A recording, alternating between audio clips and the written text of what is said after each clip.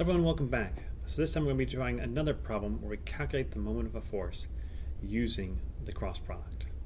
So in this case we have a force of 30 newtons. Let me put my little pin on. There we go. 30 newtons. And it acts on this bracket, which is a very strangely shaped bracket, but don't let it freak you out because we just need the position vector, not that crazily shaped bracket.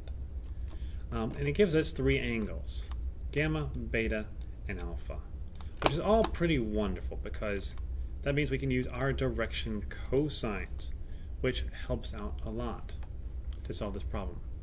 So, let's try it out. So how are you going to do it? Well, first off, you probably need to find the unit vector for the a-axis, and you need to find your position vector.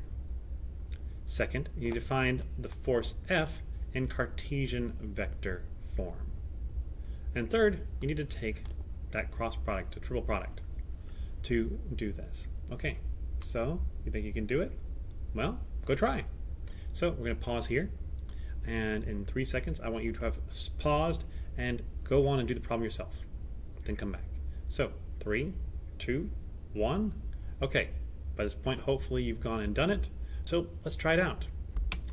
The process is to be fairly similar to our earlier example we need to find our unit vector, which in this case is parallel to our y-axis, so it is just in the j direction.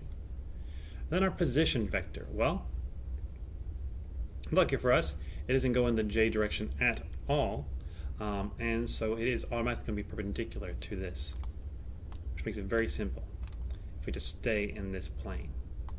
And so we have two steps here. We have two steps in the z direction, and one step in the x direction. So we're going to have negative 0.1 i and 0.15 k. And you're like, wait a second, um, it went down twice. And it went back, and went, why is this, what, what's, what's the sign? Um, the issue is that we start from the axis and head to the point where our force is. So even though I said down to trick you, it's meant to go up. So we start from here and go up twice and go in the negative x direction once.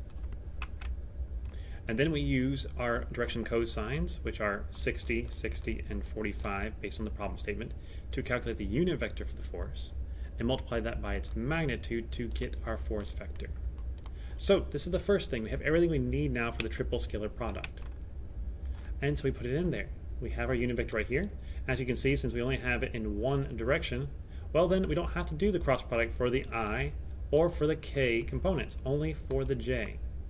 So everything else doesn't matter, we just do this one, AD minus BC.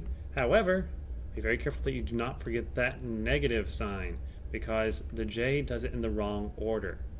Remember, i cross k is equal to negative j. It doesn't go in the right order.